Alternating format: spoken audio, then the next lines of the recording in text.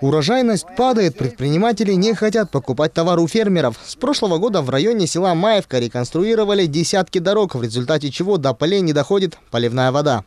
Жерде Мы на протяжении многих лет выращиваем клубнику. Неподалеку построили дороги и перекрыли воду. Потому в этом году уровень урожайности упал. Весной еле выкачивали воду с помощью насоса. Многие фермеры бросили полевые работы.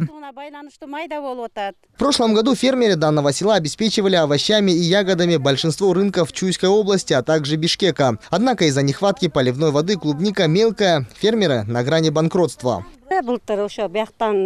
В прошлые годы воды всегда хватало и проблем не было. Мы поставляли клубнику, а также другие овощи на рынке столицы и Чуйской области. В этом году, как построили дороги, все, перекрыли арыки. Потому сейчас мы на грани банкротства. Никто не хочет брать такую мелкую клубнику.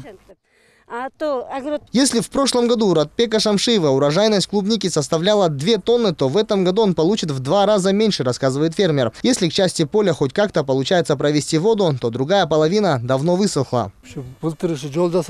У меня один гектар земли. Я всегда получал урожай в 2 тонны клубники. Мне кажется, в этом году будет в два раза меньше. Как начали строить дороги, арыки перекрыли, и нам приходится как-то выходить из этой ситуации, иначе мы разоримся. Прошлый месяц вообще не было воды, все высохло.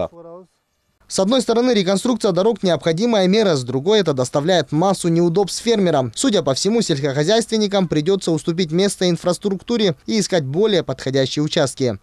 Дастан Гасканов, Бегимай Джаныбекова, Тынчтык Кульбаев, Нью ТВ.